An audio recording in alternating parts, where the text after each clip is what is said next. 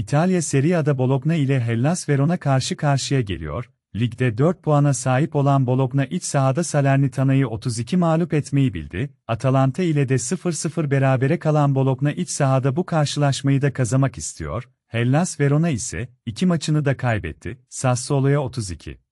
Inter'e 31 kaybeden Hellas Verona'nın deplasmanda da işini zor görüyorum. Bologna karşısında 7 maçtır kazanamayan Hellas Verona'nın yine işi zor.